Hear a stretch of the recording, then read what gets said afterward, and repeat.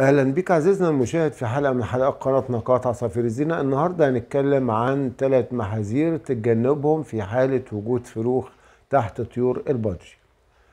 في الحقيقة إن في حالة وجود فروخ تحت طيور البادجي واجب على الهاوي المربي إنه يتجنب آه، عدة أشياء. أولها إنه يفتح على آه، الطيور أو على الفروخ أو على الطيور اللي راقدة في البياضة لأن في الحالة دي هتقوم الأنثى بذعر. وهتقوم بدهس الفروخ وكسر البيض يبقى يبعد عن الفكرة دي تماما. وإن اضطر لكده يخبط خبط خفيف على باب البياضة.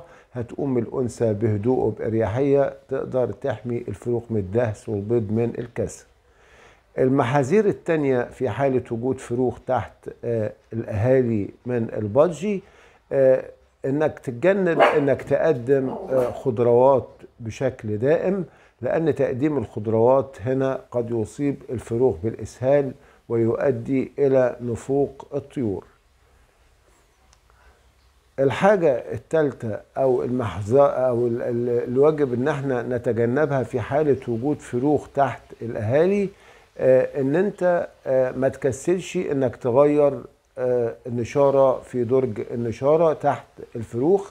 لأنها تصاب الفروخ بالبلل وترتفع الرطوبة في البياضة وبتبقى البياضة مرتع خصب لحشرة الفاش وقد تلتصق الفضلات في أرجل الطيور وبتسبب لها الكساح. بكده نكون عرفنا الثلاث محاذير اللي واجب إن إحنا ما نعملهمش في حالة وجود فروخ.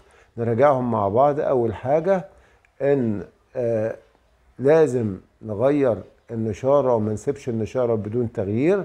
الحاجة التانية ما نفتحش على الفروخ أثناء وجودهم تحت الأم باستمرار عشان ما تصابش الأم بالذعر وتدهس الفروخ. الحالة التالتة ما نقدمش خضروات في حال وجود فروخ أقل من أسبوع تحت الأبوين. إن عجبك الفيديو ادعمنا ب like واعمل اشتراك للقناة عشان تصلك كل فيديوهاتنا هنجاوب على كل الأسئلة والاستفسارات اللي هتصلنا منكم. share الفيديو ليصل لأكبر عدد ممكن من المشاركين. إلى اللقاء في فيديو آخر. تقبل تحياتي.